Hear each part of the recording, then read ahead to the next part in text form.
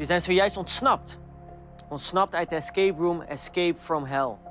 En we hebben in dit Halloween weekend deze escape room voor jullie georganiseerd. Om jullie ook aan het denken te zetten over het feit van de dood, maar ook over de hel. Want we staan er niet vaak bij stil, maar de hel is een realiteit. En het hoeft niet jouw eindbestemming te zijn. Want er is een antwoord en er is hoop. En al die tijd hadden jullie dat antwoord in jullie hand.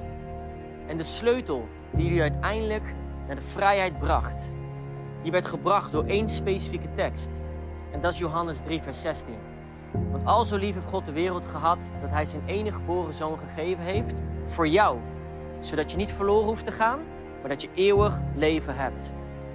De dood, daar kun je niet aan ontsnappen. Maar de hel, aan de hel wel. En het is belangrijk dat je daarbij stilstaat. Het antwoord vind in Jezus Christus.